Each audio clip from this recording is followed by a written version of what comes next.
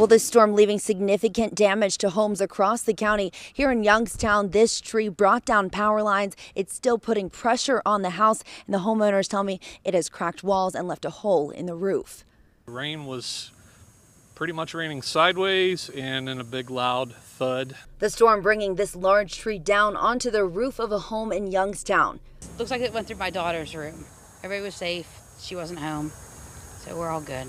And in Lower Burrell, the wind sent Danielle Skoronsky's trampoline into her fence.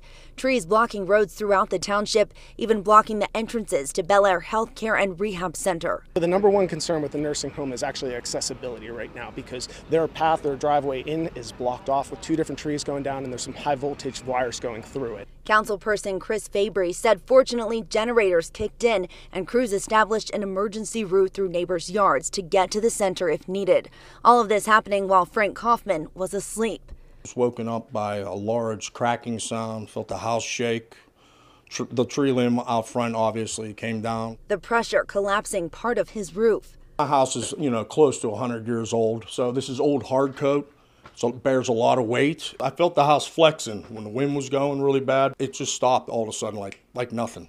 It was a township wide effort in Lower Burrell to remove the debris and keep people safe from downed power lines. There were so many different streets down that we actually had different citizens that were using their own cars to block off areas where there were lines down. That force of the wind even flipping over this trailer.